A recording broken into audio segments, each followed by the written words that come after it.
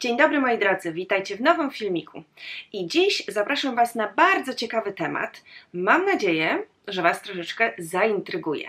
Jakiś czas temu w jednym z moich e, filmów wspominałam Wam o tym, że miałam okazję uczestniczyć w bardzo ciekawej konferencji marki Purles dotyczącej um, czynników wzrostu. Oczywiście na tej konferencji został poruszony ten główny temat, czyli czynniki wzrostu, ale też zostały zaprezentowane e, nowe kosmetyki, które pojawiły się w ofercie marki. I tak sobie pomyślałam, że to jest naprawdę fajny temat, który mogłabym również i Wam przedstawić tutaj na moim kanale.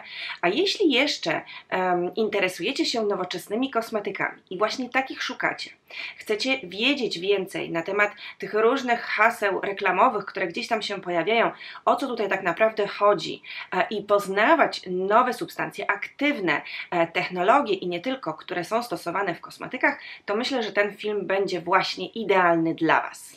Moi drodzy, jak zapewne wiecie, w naszym organizmie um, istnieje, funkcjonuje cała masa związków, dzięki którym i my jesteśmy w stanie funkcjonować. No i właśnie, te czynniki wzrostu. Co to takiego jest? Słuchajcie, e, pamiętam jeszcze na studiach, kiedy mieliśmy chyba e, jeden taki oddzielny wykład poświęcony cytokinom.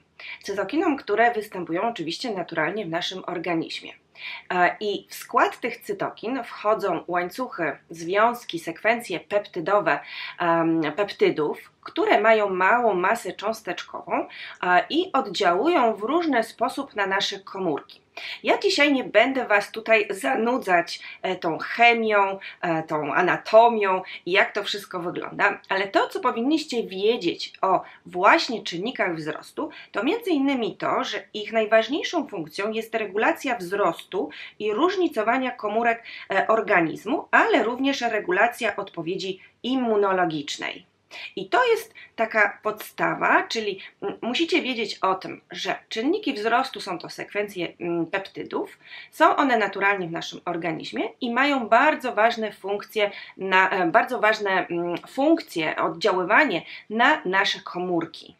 Znając tę całą otoczkę dotyczącą cytokin, e, czynników wzrostów i wiedząc o tym, że są to bardzo ważne związki w naszym organizmie, a między innymi też bardzo ważne związki, jeśli chodzi o działanie naszej skóry, producenci kosmetyków zaczęli drążyć temat i postanowili, że będą wprowadzać coś takiego właśnie do kosmetyków, czyli te czynniki wzrostu.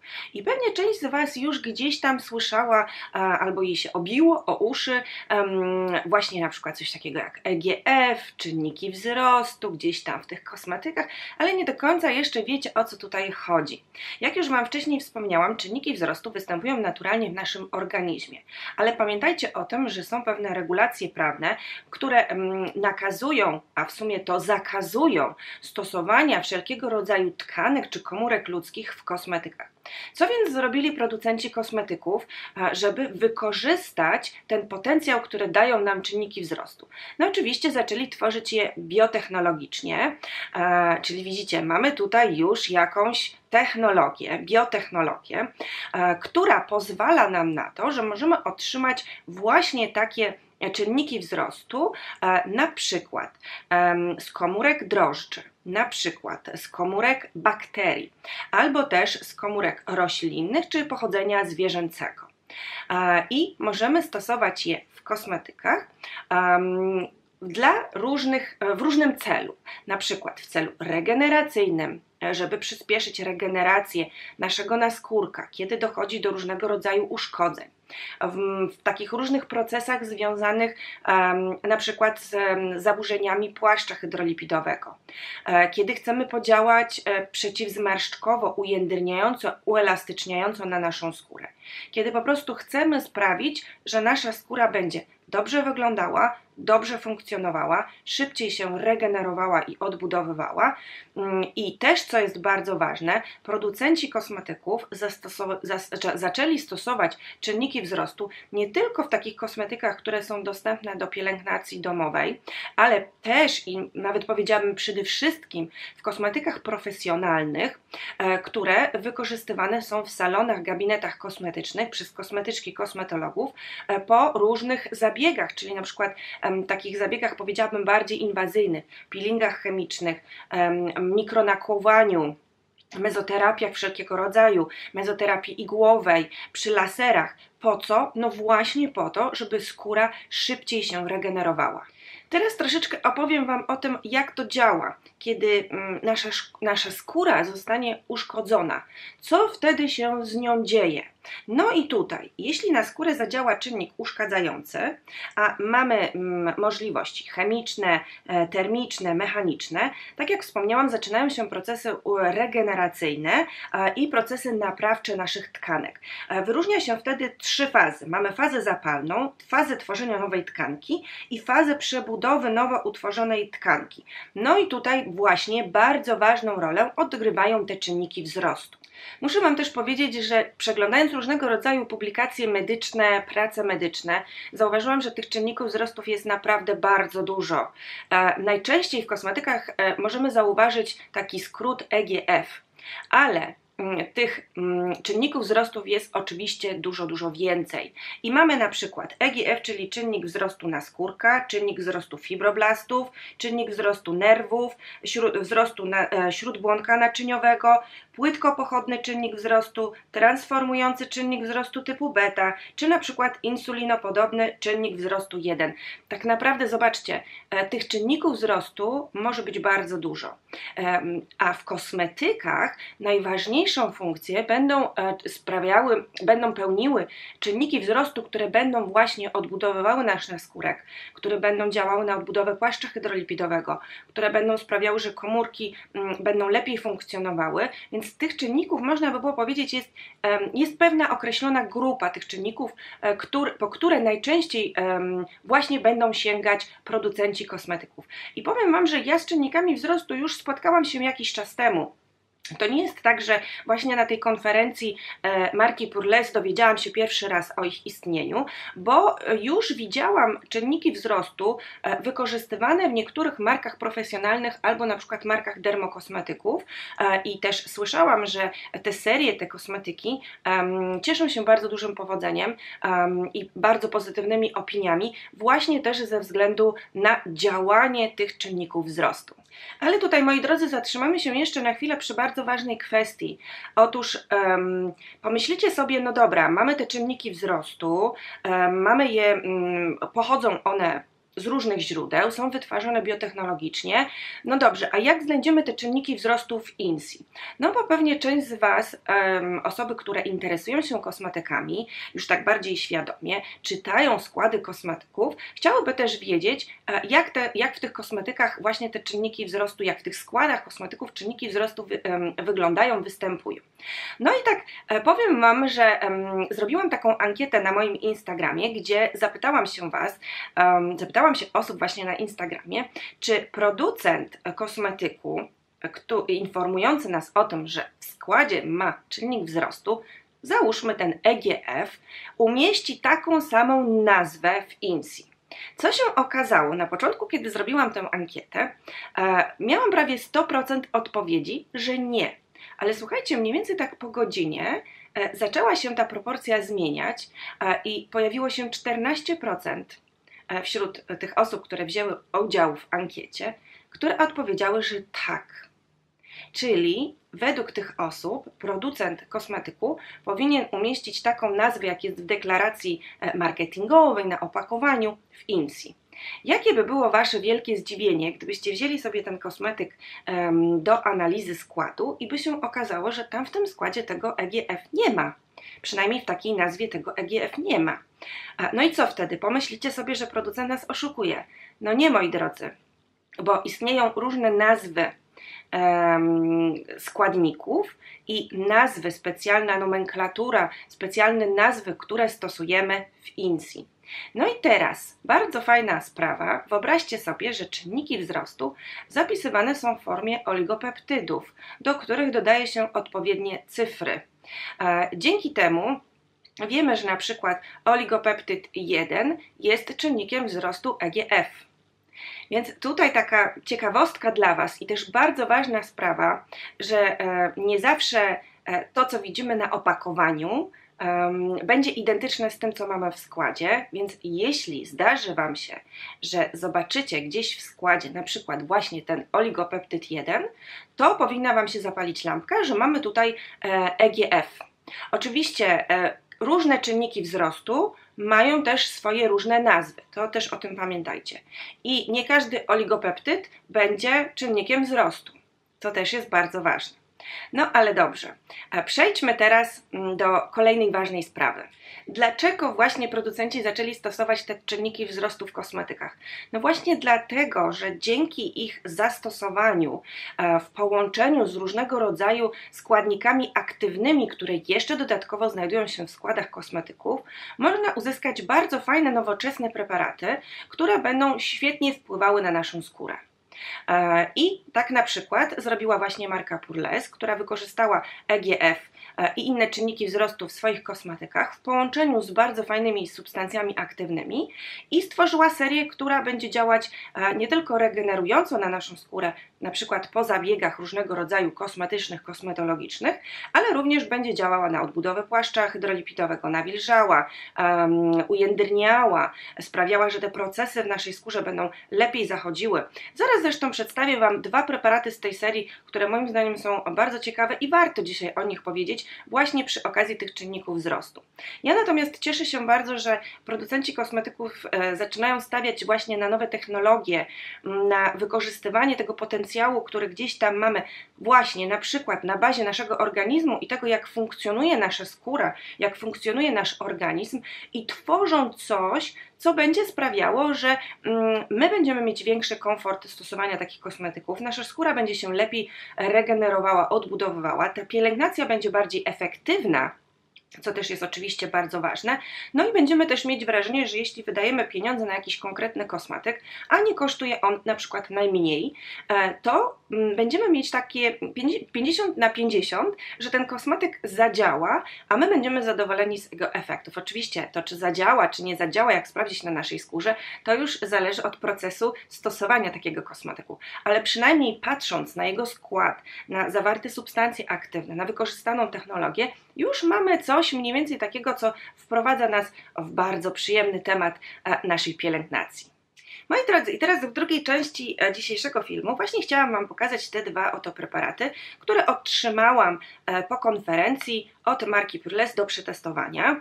E, oczywiście ja sobie je cały czas stopniowo stosuję, ale już dzisiaj mogę podzielić się z Wami takimi moimi pierwszymi refleksjami, jeśli chodzi o ich zastosowanie, e, konsystencję, zapachy, czy też między innymi skład.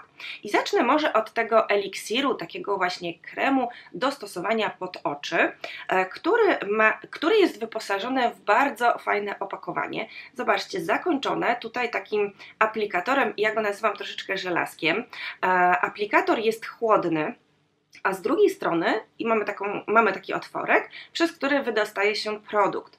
Dlaczego marka wykorzystała właśnie taki aplikator? Między innymi dlatego, że jeśli na przykład na kilka minut włożycie sobie e, ten eliksir do lodówki, to Wam się schłodzi jeszcze bardziej ten aplikator. Przez to też nakładając produkt w okolicy oczu, mm, możecie go fajnie rozmasować, wykonując masaż i do tego jeszcze działając krioterapią, czyli zimnem. Co nam to daje? Oczywiście zwężają nam się naczynia krwionośne, dodatkowo też działamy na opuchnięcia, robimy tutaj sobie taki właśnie delikatny masaż tej okolicy, e, działamy na worki, które nam się mogą tutaj pojawiać. Pewnie część z Was ma z tym problem, ja oczywiście dostaję od Was różne wiadomości i wiem, że część potrzebuje kosmetyków przeciwzmarszkowych, część ma skórę bardzo mocno przesuszoną w okolicy oczu, więc to nawilżenie jest bardzo ważne. Są takie osoby, które mają zasinienia, są też takie osoby, które walczą właśnie innymi z opuchnięciami w porannej pielęgnacji albo też z workami pod oczami. No i tutaj mamy bardzo ciekawe rozwiązanie, właśnie ten aplikator, który umożliwia nam wykonanie tego masażu, e, podziałanie krioterapią, e, dokładne rozprowadzenie też preparatu e, w okolicy naszych oczu. Co jeszcze mogę powiedzieć? Mamy tutaj oczywiście opakowanie 15 ml i przydatność tego kremu 6 miesięcy. E, konsystencja. Konsystencja jest taka, powiedziałabym, lekko żelowa, w takim odcieniu mlecznym. To nie jest biały kolor, ona też nie jest całkowicie bezbarwna, ale to, co jest ważne, tutaj nie mamy żadnego zapachu, więc coś dla osób, które nie lubią kosmetyków perfumowanych, zwłaszcza w okolicy oczu i też coś dla osób, które posiadają skórę wrażliwą w tej okolicy, więc zapachy nie są wskazane. Tutaj absolutnie tego, mm, tego zapachu nie odczuwacie. Oczywiście preparat jest przebadany dermatologicznie.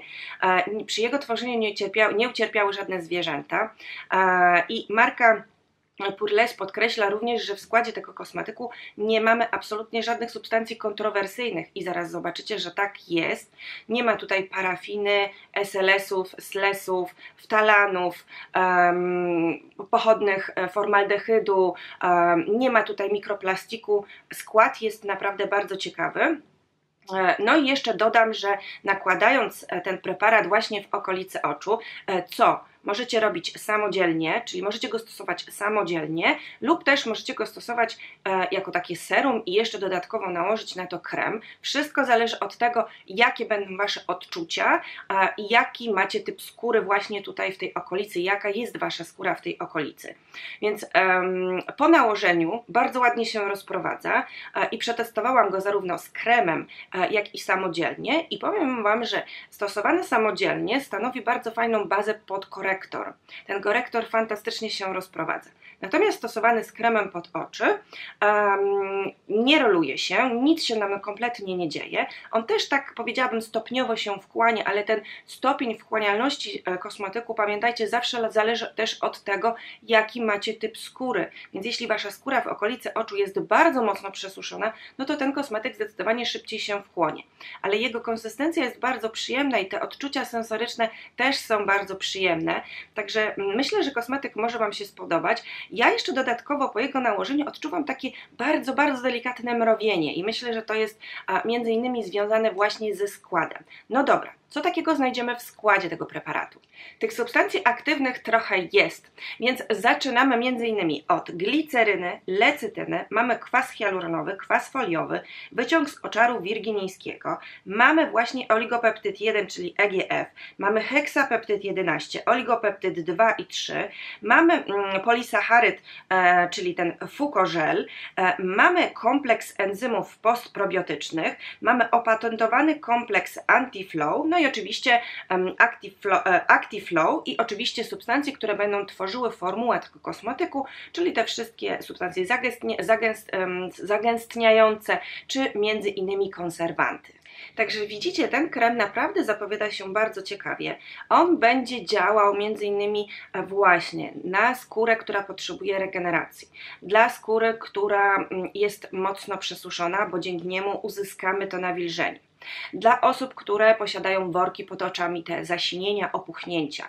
Dla osób, które mają skórę dojrzałą. Dla osób, które borykają się z pierwszymi zmarszczkami. To jest bardzo fajny, kompleksowy krem i myślę, że on stanie się jednym z moich ulubionych, jeśli chodzi o markę e, Purles, jeśli mm, rozmawiamy o kremach do stosowania pod oczy, taki eliksir do stosowania pod oczy, bo przetestowałam już kilka, ale ten jakoś wyjątkowo chyba najfajniej się u mnie sprawdza. Dlatego też e, chciałam Wam go dzisiaj polecić. Oczywiście m, zobaczymy jak będzie po wykorzystaniu całego opakowania. Na pewno dam Wam znać. To teraz przechodzimy do kremu do stosowania na twarz, czyli kremu takiego, jak to nazwała marka, kremu młodości. Moi drodzy, opakowanie wygląda w ten sposób, czyli charakterystyczne dla marki Purles. Mamy oczywiście pompkę, więc mamy tutaj też e, rozwiązanie bardzo higieniczne, pojemność 50 ml i zdecydowanie dłuższą przydatność przydatność, a mianowicie 12 miesięcy. Konsystencja tego kremu już jest bardziej taka, powiedziałabym, kremowa biała, ale to jest taka lekka kremowa formuła. Bardzo fajnie rozprowadza się go na naszej skórze, fajnie się go masuje i też e, przetestowałam go już na, na różne sposoby, mm, zarówno samodzielnie pod makijaż, ale również z różnymi filtrami i sprawdza się bardzo, bardzo dobrze. Co więcej, zaczęłam sobie stosować ten krem po zabiegach kosmetycznych, które w ostatnim czasie wykorzystałam, e, wykonałam. E, I to jest właśnie, słuchajcie, taki krem, który ma wspomagać tą regenerację naszej skóry, między innymi po zabiegach. czyli ma sprawiać, że skóra szybciej do siebie dojdzie, będzie pięknie wyglądała, będzie miała ładny blask, będzie dobrze nawilżona, ujędrniona. To jest preparat, który fajnie sprawdzi się tak naprawdę do każdego typu skóry, ze względu między innymi na to, co znajdziemy w składzie, ale też na tą przyjemną formułę.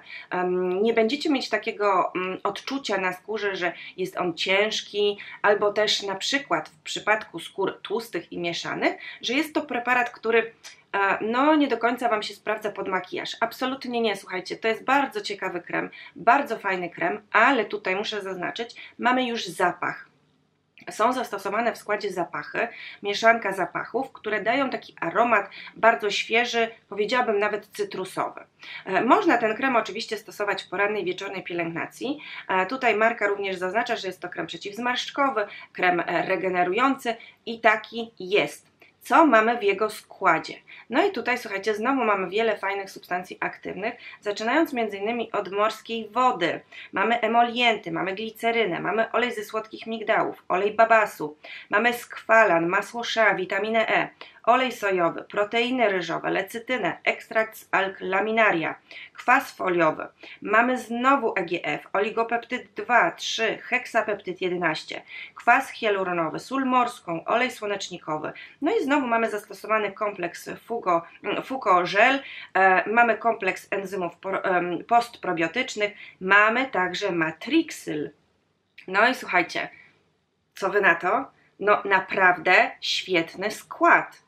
E, mamy substancje, które będą właśnie działały regenerująco, mamy czynniki wzrostu, mamy substancje nawilżające, mamy substancje, które będą odbudowywały nasz, nasz um, płaszcz hydrolipidowy, e, mamy mm, substancje, które będą dawały ten efekt regeneracji, nawilżenia, odbudowy naszej skóry. Mamy oczywiście substancje, które będą również tworzyły tę formułę. Mamy całkiem przyjemny zapach. Słuchajcie, jak dla mnie bomba. To jest naprawdę bardzo ciekawy krem z bardzo fajnymi substancjami aktywnymi. No i oczywiście znowu nie ma tutaj w składzie żadnych substancji kontrowersyjnych. Nie ma parafiny, olejów mineralnych, SLS-ów, SLS-ów, talanów, e, nie ma TEA, nie ma um, jakichś ciężkich um, konserwantów, nie ma mikroplastiku warto przyjrzeć się temu kosmetykowi.